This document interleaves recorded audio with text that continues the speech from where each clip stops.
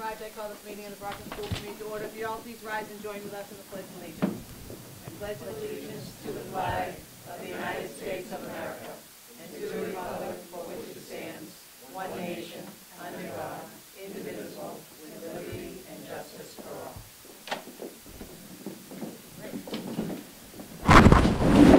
First item on the agenda is the hearing of visitors, and uh, no one has signed in this evening, so we will move on to the consent agenda. The consent agenda is the manner in which the school committee deals with items of routine business. Are there any items that school committee members would like removed? Mr. Sullivan? Item C. C. Anyone else? Okay, seeing none, I would ask for approval uh, excluding item C. Motion to approve. Second? Motion been made second, all in favor? Opposed, so moved. Mr. Sullivan on item C. I would just like to bring this up because this is the uh, fourth year in a row that Jim Mahoney, which happens to be the uh, district manager for the Brockton Walgreens, and he runs his own store on Main Street. It's on South Main Street in Brockton. It- I didn't even realize there's five Bro- uh, Walgreens in Brockton. He has, he had two programs he did. One was if you were walking up, you were buying pencils or pens or rulers for your, for your own kids, you could drop off the same thing in that box.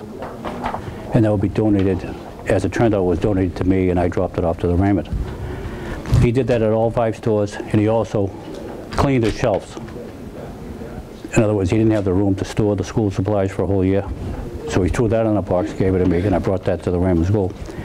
And I was trying to figure it out. This donation was, was well over $500. I'm not sure how much, because I don't know what he paid for the stuff or anything. But I just wanted to bring it out that Jim Mahoney has donated, and this is his fourth year in a row, and I will keep up this. I have become a good friend of Jim, and I will keep on going, picking up the donations and dropping them off. And uh, Carol always puts them to good use. What she does is, most of the stuff she gives away, she could sell it in the little store she has there, but most of the stuff she gives away to the kids who really need it. And it works out to be a good program. And I just wanted to bring that up. You can have a, oh, I'm sorry. Madam No, I I was just going to say, um, you know, each of our school committee meetings, we honor those people in business, those members in our community that support, you know, our students, and as you said, um, the principals are pleased when they're able to, whether it's backpacks, whether it's supplies, to make sure that all our children are prepared for their, for their day's work at school. So again, I, I agree with you, Mr. Sullivan, these relationships are important, and we'll continue to recognize them, you know, to our community. Thank you. And So could I have a motion? I'd make a motion to accept Is there a second? item C. Second. Motion's been made and properly seconded, all in favor? Opposed? So moved, okay. Next item on the agenda is the report of the superintendent of schools. Uh, As we've been doing, I want to start with uh, our student at Brockton High School, uh, Jess- Jessica Freeborn, who is here to share with us what's happening at Brockton High this evening. Jess? Okay. Hi. So most recently in Brockton High, um, report cards came out yesterday for students, symbolizing that pretty much that term one is over. Yay! Three more to go. Um, later in the week, this Thursday at 7 p.m. in the auditorium at Brockton High, um, DECA is putting on Love Mad.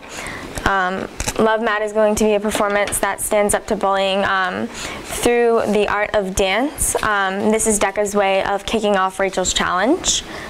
Um, and let's see what else. Um, next Tuesday, 286 seniors um, are going to be awarded the Abigail Adams scholarships. Yeah. And that's pretty much what's happening at Brockton High this week.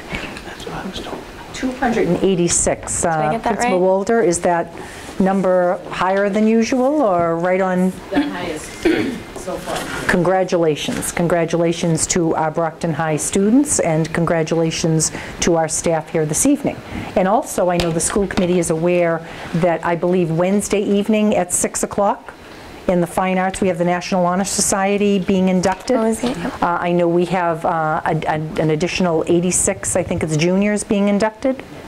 So again, I invite all of you uh, to come up. I know congratulations to the students, to the parents that have supported them, and to our faculty at Brockton High School. Thank you.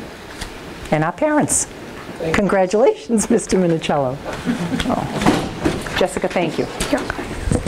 Uh, The next report is uh, a presentation from um, our Office of Learning and Teaching. Uh, Elizabeth Barry and her curriculum team will be presenting tonight. And I know uh, that last week when I was away, the subcommittee, the curriculum subcommittee had a lengthy, I think it was uh, a long night. So you were able to hear everything from uh, Common Core to the PARCC field testing to what's happening in our classrooms as we transition from um, MCAS and our mass curriculum frameworks into the Common Core, which is happening all over our country. Um, When I was in California this past week, I actually sat through a number of their presentations, uh, and I felt we were certainly on track for, for what's happening across the country. Liz? Oh, probably right in the way.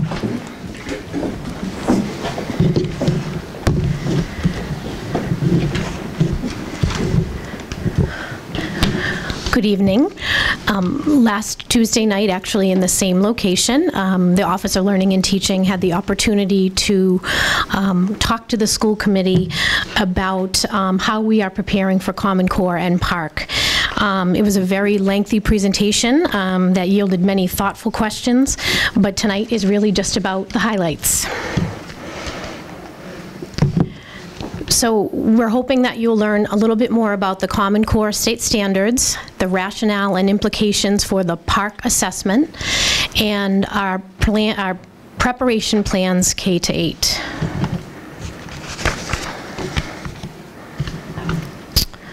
So the Common Core standards, um, really what's new about them, we've always had standards. Um, These standards are common. They're across the 46 states and Washington DC. Um, They, they're allowing us to hold all students to um, high standards. And the standards that, that came about for the Common Core um, were actually the result of a collaboration between higher education, um, education, um, K-12, um, business, and um, community leaders alike. Um, They focus on the knowledge, the content, and the skills needed to be ready for college and career. And some specific examples are the communication or speaking and listening standards, reading and writing standards across all disciplines, varied and more rigorous writing requirements, standards for math practices, technology standards, and reasoning and problem-solving standards. Um, The expectation with these standards, the expectation level is quite a bit higher, um, and it's really not enough for our students to know the content anymore. They need to be able to speak about it, write about it, and deeply understand it and also because of the technological advances that occurred because of the birth of the internet, students must be prepared um, to complete in, compete in a global economy. Um, our students need the knowledge and skills required to complete with, compete with other nations, and these standards are giving us that platform to do that.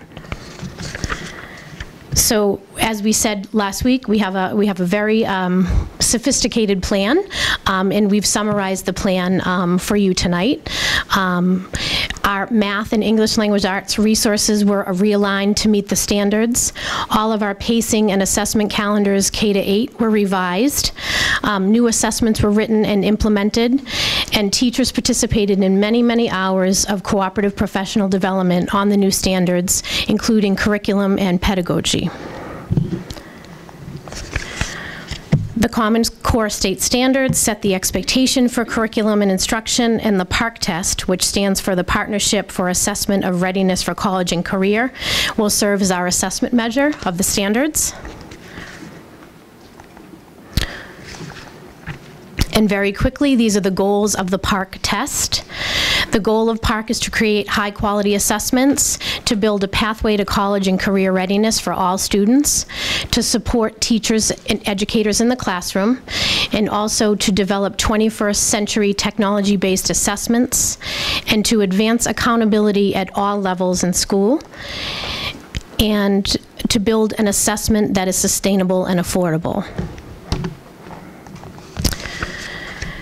We've included a timeline that talks about the implementation of PARCC.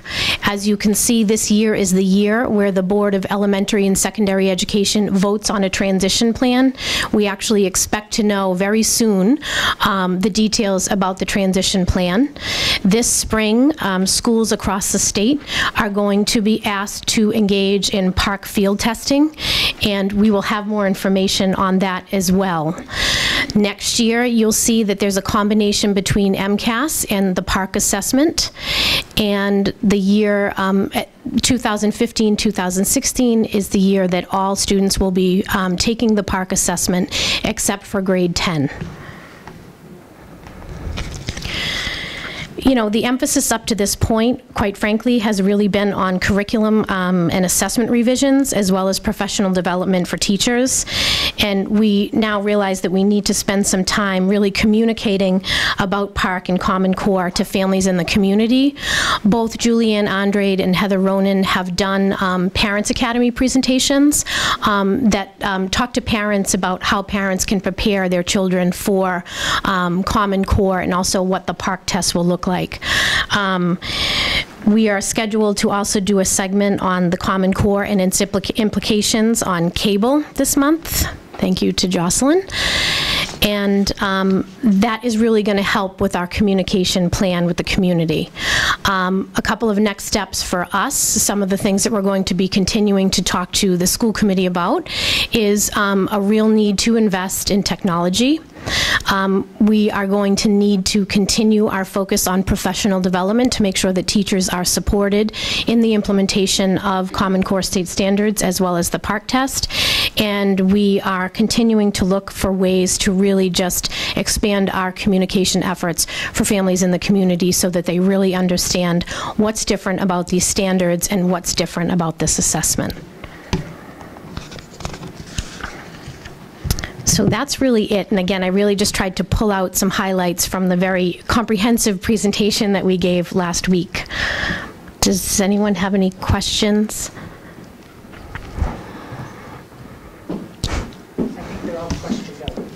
I think so. And we'll continue to, uh, oh, I'm sorry. Yeah, I just wanted to make- to make a motion. Oh. To accept that. Do you have a comment on the motion? No, I, I had some questions. Okay, oh, I'm sorry. Can we hold off on that so Mrs. Joyce can ask her question? Uh, That was a a very comprehensive and um, excellent presentation, because it gave us a solid understanding of the Common Core and the assessment that goes with it. So we do appreciate all the time and efforts that you did put into that for us.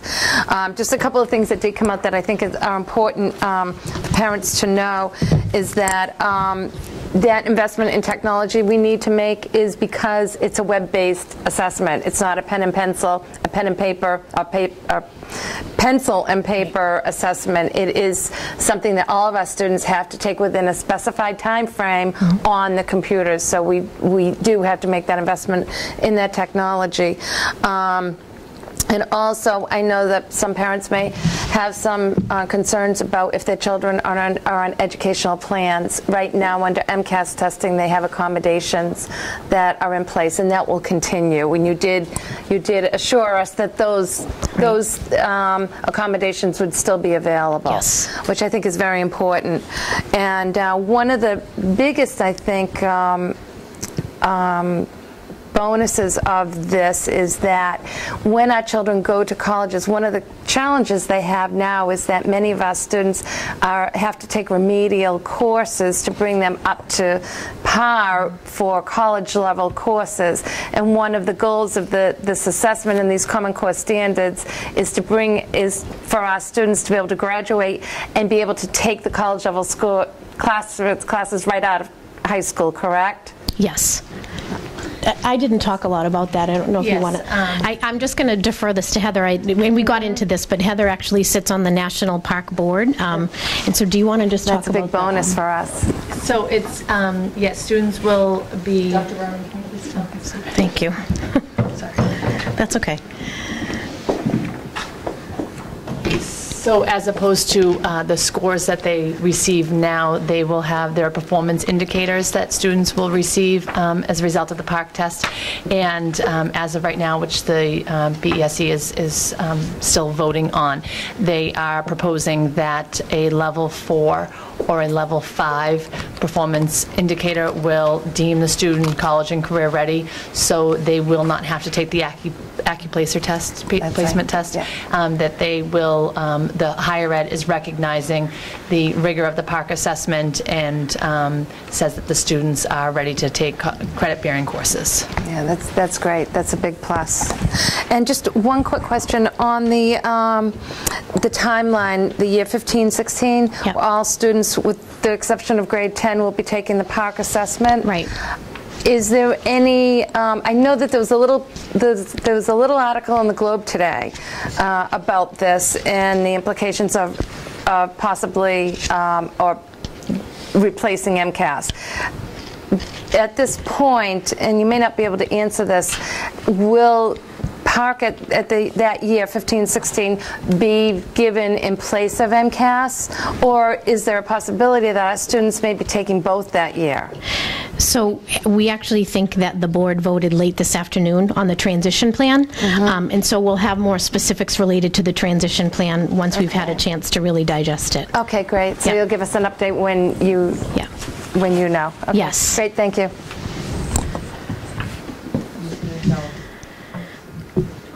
Hi. Thank you for your presentation. Um, I think we all know that this is going to be a um, significant shift in terms of what we're doing, and um, I want to make sure that the district is well positioned going forward um, because you know the achievement gap is so important, especially when looking at urban districts like Brockton.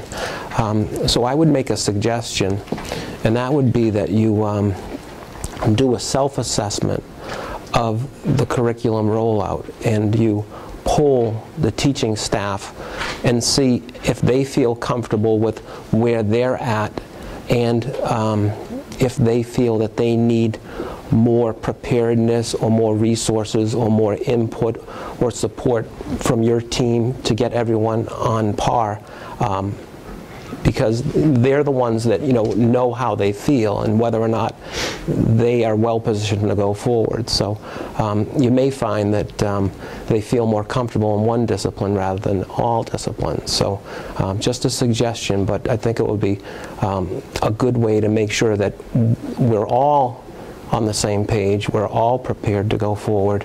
Um, and that way, you know, you can basically feel comfortable going forward that, you know, we're ready to go. But but you might find that there might need some be, there may need to be some tweaks in certain areas and, and if that's the case that's the case. We just do what we need to do Yeah, One of the things we actually talked about an executive team today was a survey for staff on professional development. There are, you know, issues coming up with so many initiatives and mandates coming down, you know, to our professional staff. So maybe that's something we can add in as we start to look at that.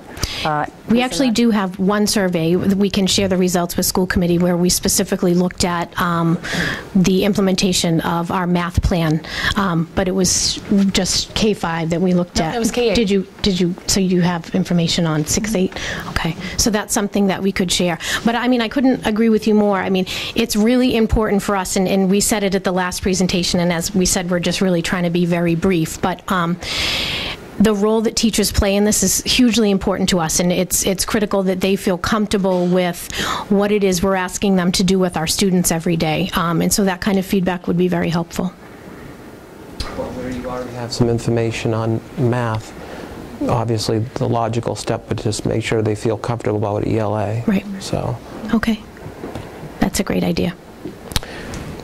we're all in this together And and again, this, this all ti- ties into uh, the organizational plan that you addressed. We addressed it in regards to curriculum, executive director for six to eight, um, you know, some additional staff positions for these very reasons. And uh, we're excited to move forward with that, and we will certainly add this in and start to get some feedback. Like I said, our staff is dealing with new educator evaluation, the transition to the Common Core, uh, they're dealing with the PARCC field testing that will happen this year in the district, uh, RETELL continued training. Um, I congratulate our staff for keeping it all together and, and continuing to, to move forward with our growth. Well, thank you. Really, it's like a perfect storm. It's all coming together at once. So I think, you know, as a school committee member, um, for my own reassurance, I want to make sure that our staff feels that they're confident and that they're well-positioned. And if there needs to be some sort of remedial or, you know, tweaks to whatever it is needs to be done to certain areas of curriculum to meet the new standards, you know, we do that. I mean, you know, that's all. Well, we we certainly agree. Any other questions, comments, concerns? Mr. Sullivan, I'd entertain that motion again if you'd like to make it. Yes, the motion was to accept the presentation as presented. Is there a second? Second. Motion's been made and probably seconded. All in favor? Opposed? So moved. Thank you. Thank you.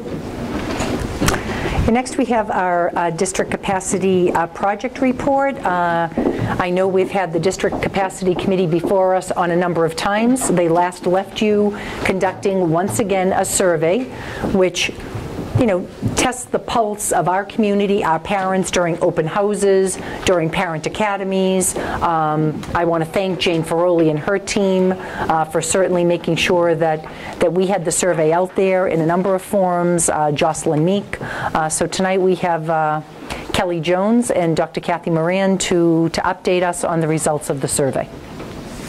Good evening.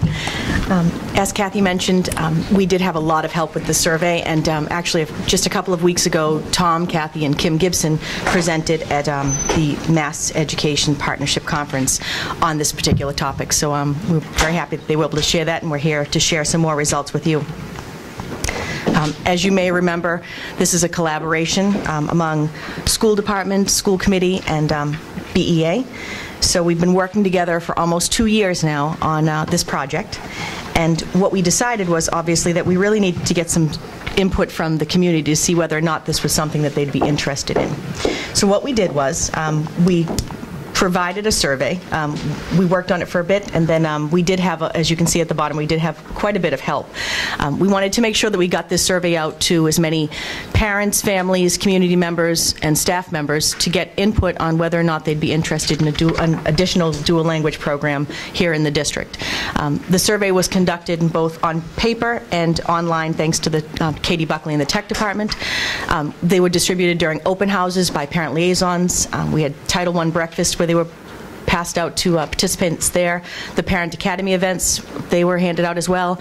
We also had the staff survey, which was placed online by Jocelyn Meek, and it's been on the BPS website for community members to, to um, respond as well.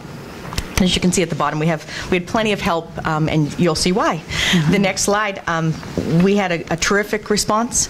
Um, We had 2,509 total responses.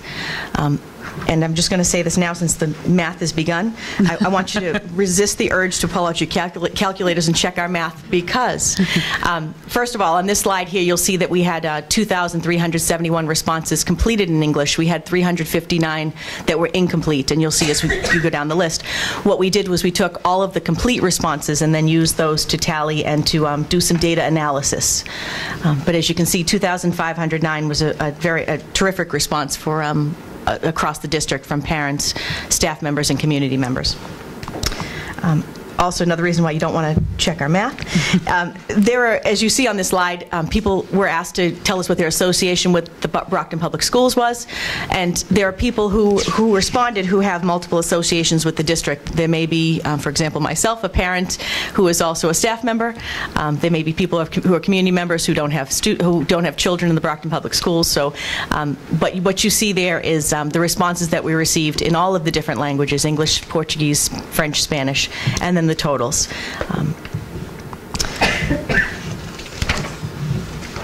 The next question was basically to determine what grade levels the um, respondents had uh, children in, and you can see that um, we had a good response across the board, but um, K to 2, we definitely had a a much larger response, um, but not followed very far behind with uh, the 3 to 5. But it was, it was good to have a good sampling across the district of people who had children. Um, Obviously, some had children in multiple levels, which is why, again, you're, you're, when you calculate these, you're you're going to see some discrepancies in the math. But there were people who have children in different levels. Um, But we really did get a, a very overwhelming response for this, um, the survey. Um, One of the questions was what languages are spoken in the home, and again, there are people who have, who had multiple languages spoken in their homes. Um, We talked a little bit before this meeting with our group in terms of um, just the, really the excitement and the diversity that we have here in the city and in the school department, but you can see that um, we have so many different languages. In fact, we couldn't list them all, so we listed them at the bottom, um, which we thought was, it was pretty, it's pretty phenomenal just to see that, but it's nice also to see that um, you know, that we do have people from all different backgrounds who responded to this, so we have a good sampling of what people, whether or not we had interest. So, so here's the interest. Um, If a dual language program were available to my child, would I enroll in the lottery?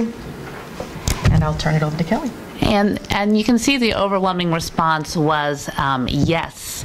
Across the various language groups represented in Brockton, um, there is extreme interest in having dual language programs. 76.6% um, responded yes or, or maybe.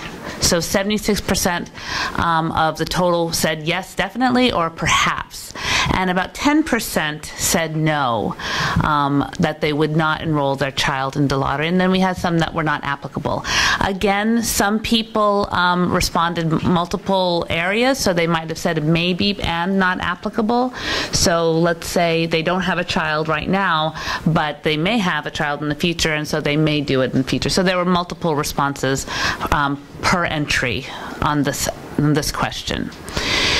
So then we broke it down even further and we asked participants of whether or not they would be interested in dual languages for certain language groups. The first being Spanish and English. And you can see the overwhelming majority. Um, this, was, this was the average response from a, a one being least interested to a five being most interested, and we took the average response of all the language groups. Um, building on the, the strength and the, the reputation of the dual language school over at the George School already, you can see that there was extreme interest among all groups um, for the Spanish and English program. Then we asked them about the Portuguese and English program. And obviously, the, the, those who responded in Portuguese had the highest um, interest for the Portuguese and English program, but still the French and the, and the English respondents um, had a very strong response as well. On a scale of one to five, you're interested in a dual language program for French and English.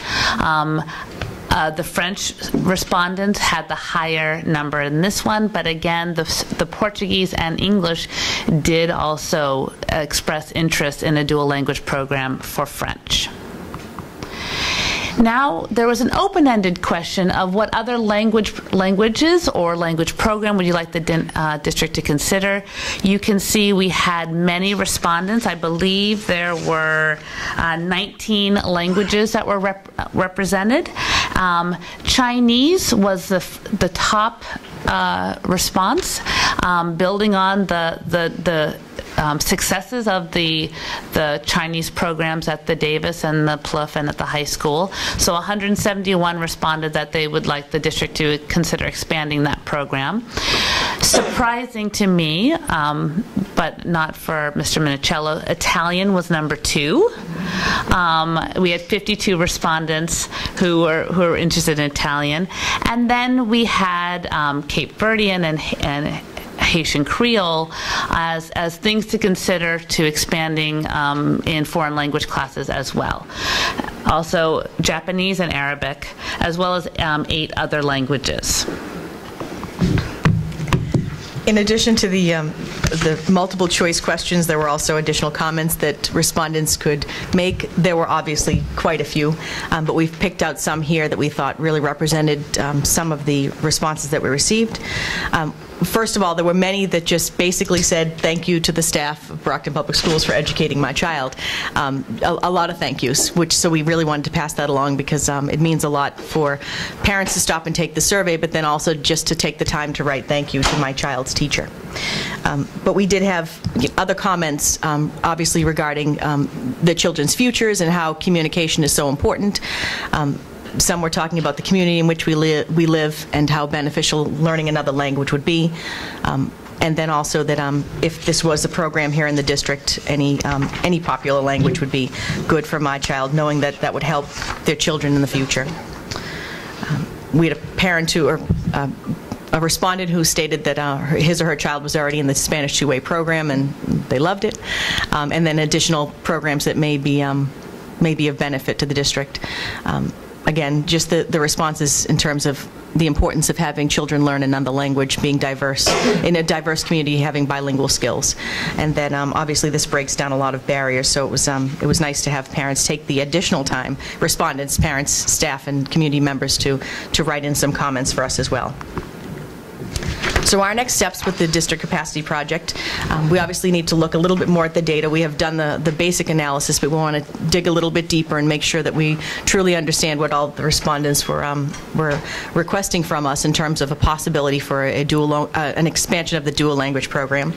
Um, The team needs to work to design a, a program model, um, to come up with a school structure, and then obviously take a look at facility needs. We have already been on a couple of school visits, and we obviously will continue to reach out to other districts and other schools that have these types of programs, so we can see what, um, what processes they went through in order to create these. Um, And we'd like to meet um, in- with the curriculum subcommittee so that we can give you an update on where we are in terms of, um, you know, designing a, a plan for a possible school. We also talked about publishing these results on the BPS webpage, since we did have the, the survey linked there, and um, continuing to, net- to network with other districts to make sure that, um, that we're doing all of the, the due diligence that we can if we are to continue with this type of a project here in Brockton. That's it. I didn't put a slide to ask any questions, but you're welcome to ask any questions. Did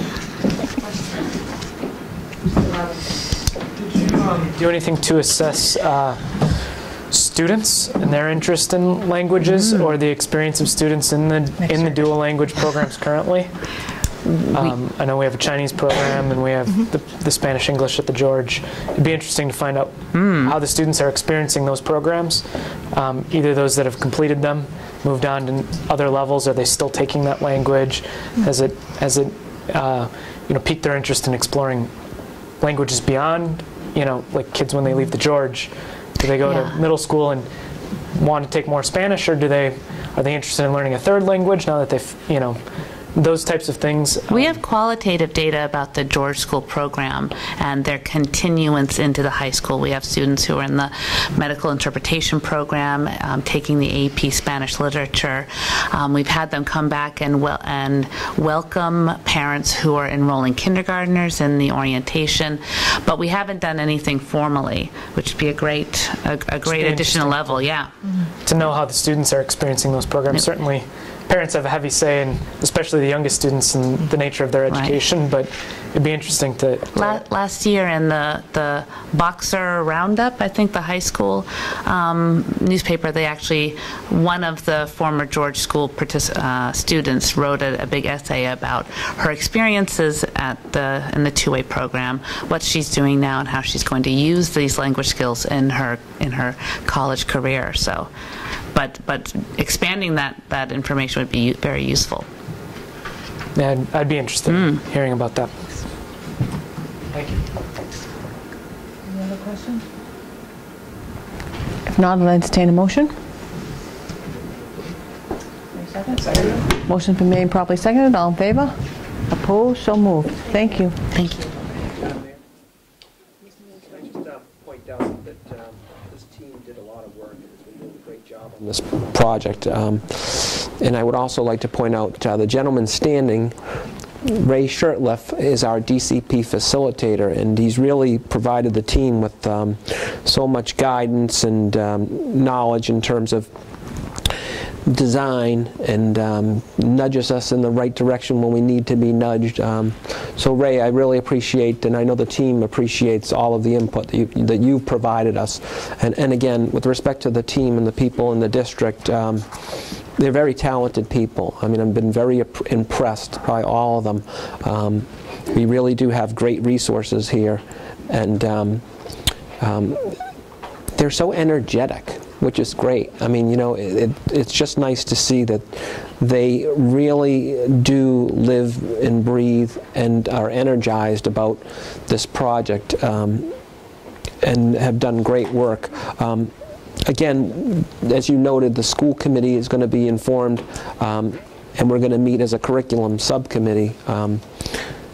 And, and we obviously need to have a full-blown discussion with everyone on the school committee in terms of, you know, their thoughts, our capabilities, financial resources, and all that. So, um, you know, it, it, it's a process, but everyone will certainly be included in terms of feedback. So. Not only that, with the district capacity project, uh, you mentioned that we actually had a presentation recently, and it included, you know, the reason for the project also is uh, Kim Gibson, president of the BEA, coming together with your representative from the school committee, Mr. Minichiello, along with your superintendent. So all of this is moving forward. We have, I think, three members attending a conference. Is it in San Diego soon? And Ray and I were having discussions about the wealth of information they'll receive there, looking at all of the curriculum and the materials and the support you need to, to have a program like this successful. So that'll happen, I believe, in February. So once again, thank you. Uh, like all of our initiatives and projects, it continues to move forward, and we'll continue to share information with you. It ties in with the facilities as we're having discussion. Um, so once again, you know, thank you, and uh, we'll report back to you. Next item on the agenda is items to refer to subcommittee. Uh, I'd like to bring up two things. Uh, One is, when we talk about the PARCC field testing, which is coming very quickly, we'll be ready to share with you at the next school committee meeting, the sites, the manner, the timelines, we'll be in- uh, informing parents, uh, all about how this field testing will happen all over uh, the Commonwealth of Massachusetts this year. One of the things, uh, Dan Vigent has always been, again, one of our administrators at the table, making sure that we're resourced so the kids that are going to be using technology will have that technology. But um, unusual, but Dan came to myself and Deputy Superintendent John Jerome recently, and they're always right there with technicians. They put a slip in, and I know when the computer goes down, I panic. Can't get to the email, can't get my documents up, and they're right there to take care of not only for your administrative staff, but also for your, your teaching and learning and teachers. But one of the things we did have to look at with all of this coming down, purchasing new technology, is resourcing his office with uh, additional uh, technicians. So one of the things I would like to bring to a subcommittee, I believe our next one we're scheduling is December 10th.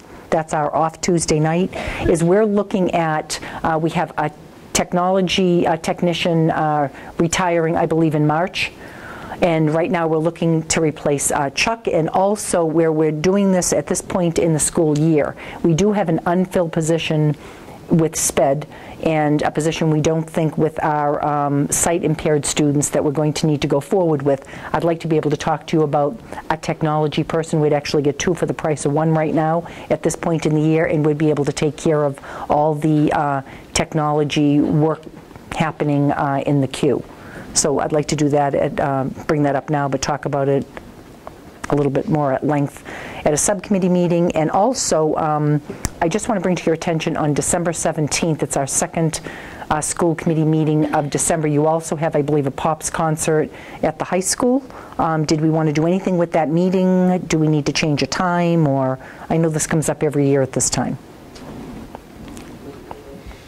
Depending on what's on the agenda, how, how you know, extensive it is, is that, is that concert t- two nights or Two is it just one night? It's two nights. It is two nights. I mean, uh, I guess we- when we know what you have for the agenda, we can, Okay, let me take a look at that for the packet this week, and uh, I just wanted to, I know that's been brought up, I just wanted to bring it up see- to see if there were any concerns. I mean, we could, it- is the concert at seven? I believe it's at seven I mean, if if it's a short agenda, we could, we seven. could post the meeting for 6 o'clock. I mean, we could do, have the meeting if you need to, post it in time, plenty of time as a change to 6 o'clock, if people would like to do that, I mean, you know. Okay. Um, And then with respect to your scheduling, um, Tuesday, that Tuesday, the 10th. The 10th. um, You know, I don't know what people's uh, calendars are like, if, if a 6:30, a 7 o'clock is good for people. Um, We need to do curriculum and policy, too. I think we were going to talk about calendar items with respect to Please. election days. I, I- all of us, I think, hear from our constituents about not feeling comfortable with the elections and the kids and the cars and the strangers going into the schools that day. Um, I've, I've heard it, I heard it over and over again. Um, so we need to have that discussion in terms of what our options could be for the following year's calendar, because I think there is a state election um, in November of next, year. year. So So we'll do policy, uh, we'll do finances, and was there another one, curriculum? um, I need to talk to our DCP team and see how soon they'd like to do that. So I mean, if we need to, we can add something else. And then something, and then something. But uh, yeah, I'll talk to the, to the to the team and see when they want to present to the curriculum subcommittee. I'm all set? So now, under new business, approval of the memorandum of agreement with the Brockton Food Service. Does anybody have that? Mrs. Joyce? I'm the chair of that subcommittee. And so we have uh, the ratification of the memorandum memorandum of agreement between the Brockton School Committee and the Brockton Food Service Associates, Local 888 Service Employees International Union. Um, You received the MOA in the uh, packet on Friday, and hopefully you've had a chance to review it. So we would like to recommend favorably to ratify the memorandum of agreement between the Brockton School Committee and the Brockton Food Service Associates uh, for a three-year period from July 1st, 2013 to June 30th, 2016. Is there a second? Second. Any questions on the motion? Motion's been made and probably seconded. All in favor? All opposed? So moved. Um, Any other additional items under new business? Anyone have anything? If not, Can I just thank our Absolutely. committee members? uh, Since negotiations have began, uh, I came on as superintendent. Uh, I'm there when the- you're there usually. And uh, Patty, thank you. Tony, Tim, uh, you know, you've really moved, you know, these uh, agreements forward. And and again, thank you. I know the time that you have put in on this. Thank you. If there's anything, if there is nothing else under new business, I'd entertain a motion. Motion been made, probably seconded. All in favor? Opposed? So moved. Thank you.